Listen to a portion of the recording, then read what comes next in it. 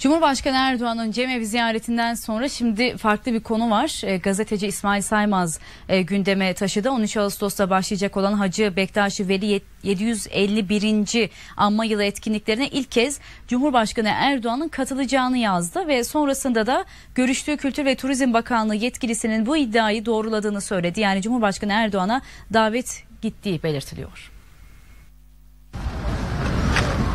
13 Ağustos'ta başlayacak olan Hacı Bektaş Veli 751. anma yılı etkinliklerine ilk kez Cumhurbaşkanı Erdoğan da katılacak. İddia gazeteci İsmail Saymaz'a ait.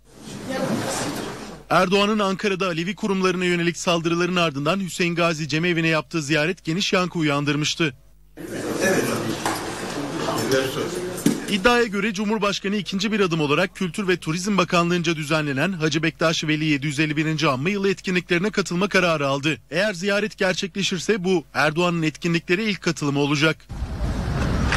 Saymaz görüştüğü Kültür ve Turizm Bakanlığı yetkilisinin Erdoğan'ın katılımını doğruladığını, Cumhurbaşkanımız aksilik olmadığı sürece gelmeye niyetli dediğini aktardı. Aynı yetkili Hüseyin Gazi Cemevi'ndeki buluşmada katılımcılardan bu yönde bir davet geldiğini de söyledi. Etkinliklere Anadolu'nun her şehrinden 1500'e yakın dedenin getirileceği de belirtiliyor. Hacı Bektaş Veli Anma Yılı etkinliklerine her yıl CHP lideri Kemal Kılıçdaroğlu da katılıyor. Geçtiğimiz yıllarda etkinliklere hükümet adına Kültür ve Turizm Bakanı katılıyordu. Daha önce 11. Cumhurbaşkanı Abdullah Gül de etkinliğe katılım sağlamıştı.